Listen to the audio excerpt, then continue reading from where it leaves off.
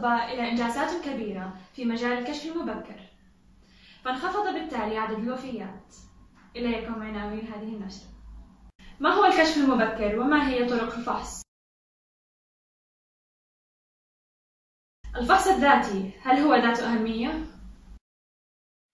للفحص الذاتي أهمية كبيرة. ننتقل إلى غيث من قلب الكرك يخبرنا عنه. مرحبا منى. اليوم راح نحكي عن الفحص الذاتي للثدي أول شيء لازم نحكي عن الفترة المناسبة للفحص هي بتكون من اليوم السابع إلى العاشر تقريبا من بداية الدورة. لازم أنه يكون الثدي غير منتفخ. إيه، هسا إذا توقفت الدورة للنساء الذي بتوقف الدورة عندهم يعني لازم يفحصوا كل شهر بنفس الموعد. هسا خطوات الفحص أول شيء الاستلقاء ضعي وسادة على كتفك الأيمن. إيه، تفحصي ثديك الأيمن بباطن الأصابع الثلاثة الوسطى. اضغطي بشكل خفيف ومتوسط وثابت على أن تتحرك أصابعك بشكل دائري ومن دون رفع على الجلد.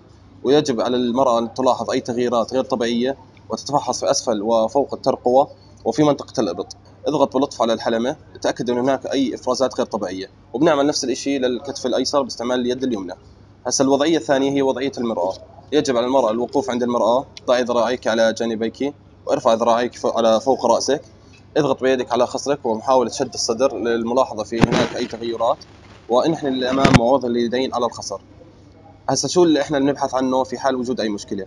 إذا كان هنالك أي كتلة صلبة كان في ورم احمرار حرارة نبحث عن نقرات صغيرة أو تجعد في الجلد حكة أو تقرحات انسحاب في حلمة الثدي وهي شغلة كثير خطيرة لازم أي مرة ما تسكت عنها. وإفرازات من حلمة الثدي تبدأ فجأة.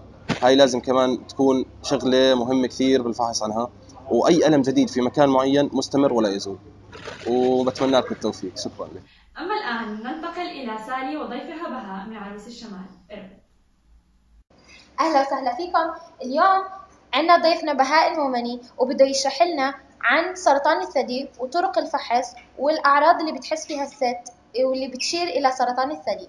حابة أسألك كم من سؤال.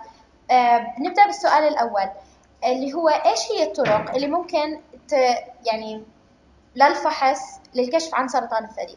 طبعا عندنا ثلاث طرق للفحص عن سرطان الثدي أول طريقة هي طريقة الفحص الذاتي واللي تكشف عن 25% من الحالات عندنا أيضا طريقة أشعة الماموجرام اللي تكشف عن 90% من الحالات وعندنا طريقة الفحص بشكل دوري للثديين عن طبيبه أخصائية واللي تكشف عن 40% من الحالات. okay حابة أسألك عن التغيرات اللي بتلاحظها الست واللي تشير إلى وجود سرطان. طبعا عندنا خمس تغيرات نقدر نلخصهم كلهم مع بعض واللي من خلاله إذا الست لاحظت أي تغير من هاي التغيرات عليها إنها تراجع طبيب مختص بسرطان بالسرطانات خصوصا سرطان الثدي. ومنهم أول شيء الإفراز أو التكتلات واللي هي تعتبر آه، بشكل كبير من أهم التغيرات اللي ممكن تطرا على الثدي واللي ممكن السيدة تلاحظها طبعا هاي التكتلات ممكن تكون أورام حميدة أو أورام خبيثة. لذلك بيشير الاطباء إلى أهمية أخذ خزعة سواء كانت بإبرة أو جراحيا. للكشف عن هذا عن هذه آه، التكتلات وعن كشف الخلايا وطبيعة هذه الخلايا لتحديد سواء إذا كانت أورام حميدة أو أورام خبيثة.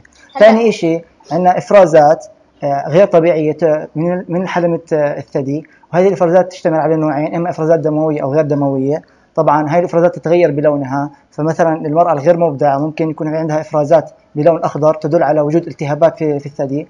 أيضا الافرازات الدمويه آه، تعتبر مثل مؤشر واضح لوجود ورم في الثدي. ممكن يكون هذا ورم حميد أو ممكن يكون ورم سرطاني لا سمح الله. كمان في عندنا تغير في لون الجلد وشكل الحلمة ووجود تشققات. طبعا هذه كلها بتعطي آه، نقاط مهمة للسيدة حيث إنه في شيء آه، خطير عم بيصير معها.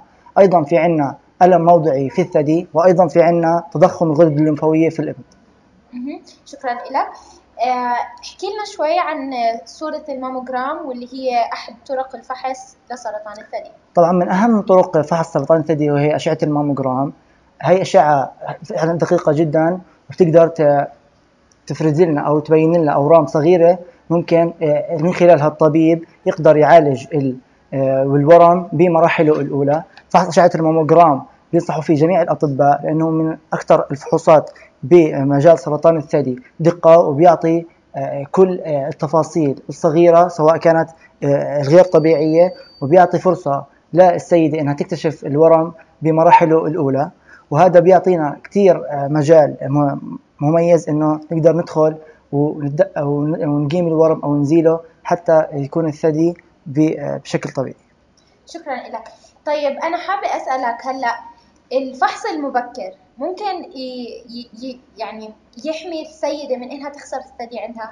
طبعا في أهمية كثير كبيرة للفحص المبكر لسرطان الثدي، تعتبر من تعتبر هي الأهمية إنه هذا هذا الورم وهذا السرطان لا سمح الله لما نكتشفه بشكل مبكر نكتشفه في مراحله الأولى بحيث إنه نقدر نزيله وما بيكون متفشي في جسم الإنسان أما لا سمح الله إذا كان بمراحله الأخيرة أو المراحل المتأخرة آه، فهذا الورم بيكون منتشر في جسم الإنسان وبالتالي يصعب علاجه.